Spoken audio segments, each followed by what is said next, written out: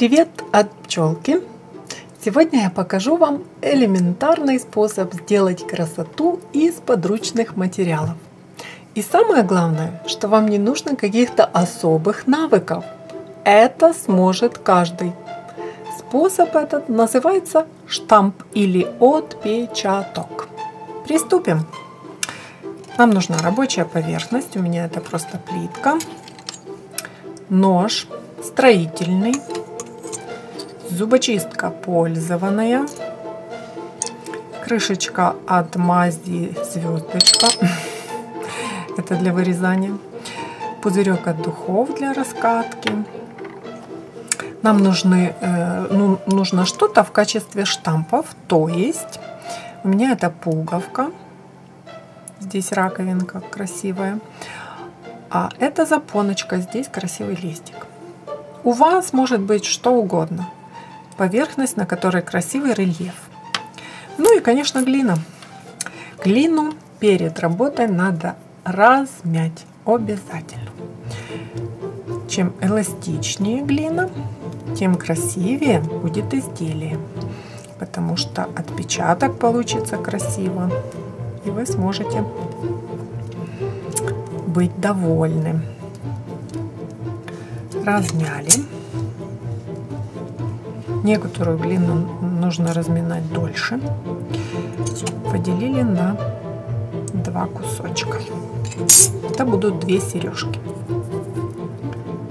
Итак, раскатываем первую.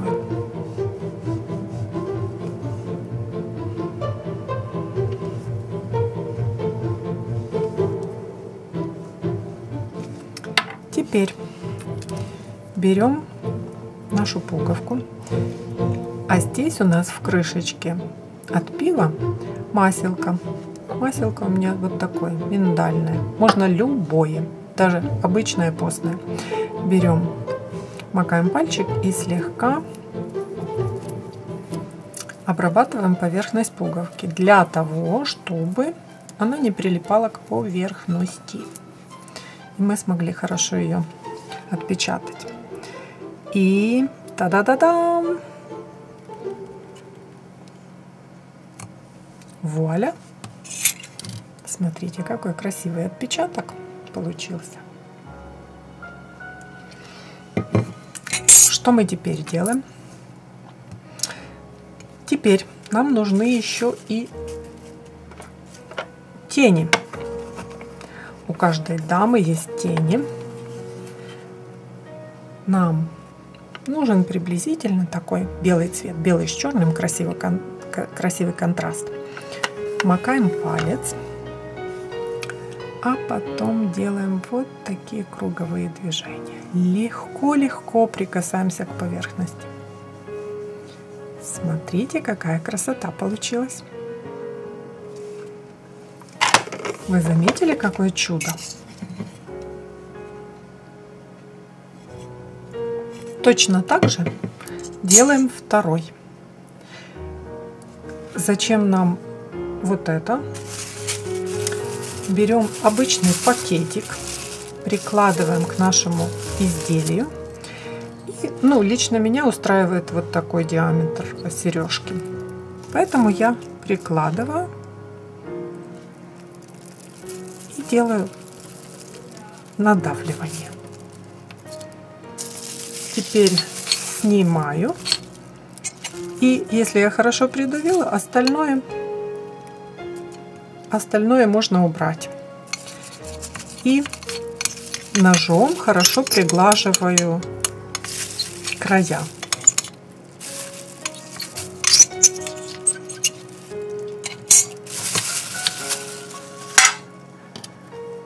Теперь зубочисткой делаю дырочку для того, чтобы потом сделать сережку.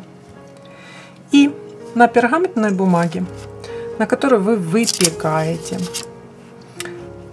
отправляем эти наши изделия на 15 минут на самую маленькую температуру 110 градусов.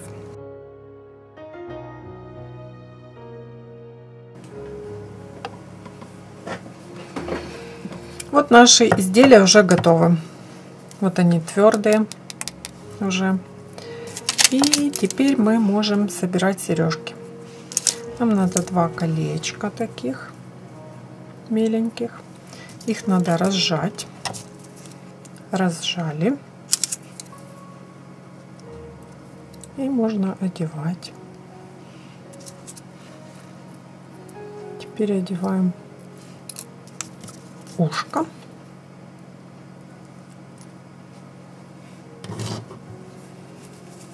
И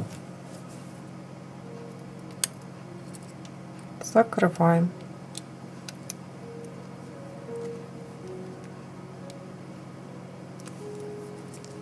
Итак, у нас получилась вот такая сережечка. Точно так же делаем второй.